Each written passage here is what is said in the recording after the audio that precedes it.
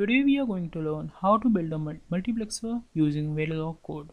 Here you can see we are building a 4x1 multiplexer which has 4 inputs and a single output and the value of output is determined by the two select lines down there.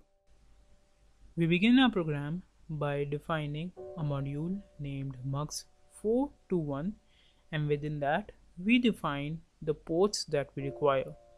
As we have seen in the pic, we require ABCD which are the input ports to be multiplexed. Cell 1 and cell 2 are other ports which are also input but are used to multiplex ABCD and output is the only output port. In this case we have named it as out. Now we define which ports are input and which ports are output.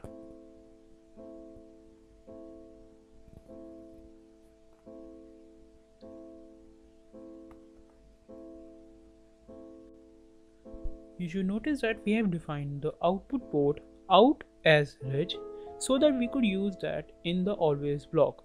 Always is a procedural block which can only process the reg ports.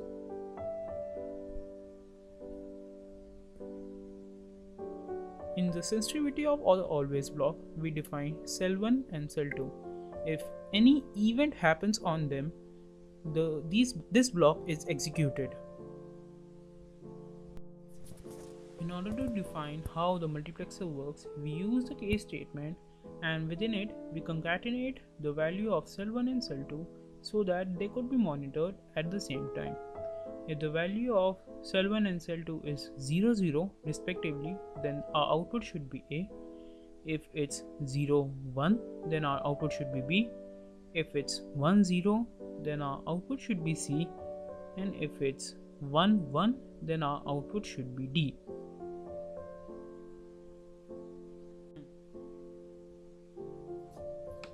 defining cases as 0, 1, 2, 3 will not change the functionality of a program.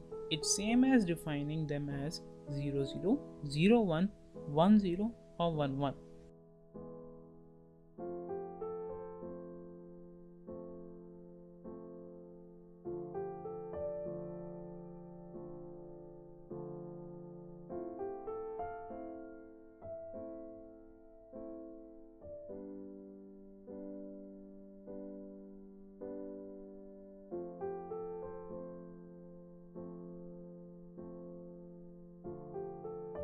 Now we simply save our program and then compile it. As the compilation was successful, now we head over to simulate the program. For the simulation, we simply force the value over the input variables and then look for the output value. You can verify the waveform here on. While it simulates, we would like to say to you that you can feel free to comment any suggestion that you would like to give to us. Or if you feel like the program could be written in a better way please feel free to write that in the comment section. We will definitely respond to that